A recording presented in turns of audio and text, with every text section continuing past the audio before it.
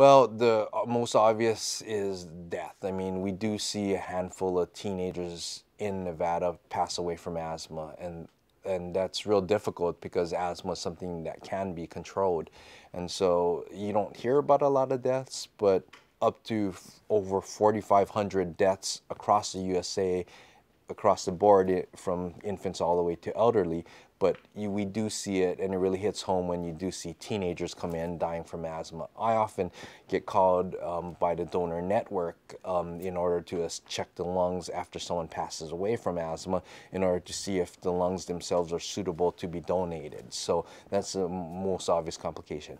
Then there's admissions, hospital admissions. Well, it, if someone is admitted, they don't realize that in pediatrics, the parents have to take off work, which is lost productivity for the company, lost income for the parents, possibly affecting even their job if they have to miss so many days.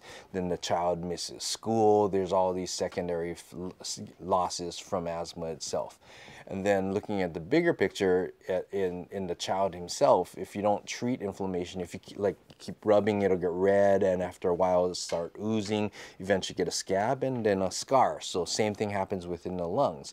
If you keep ongoing inflammation and leave it untreated, that could lead to scar tissue and permanent changes over time.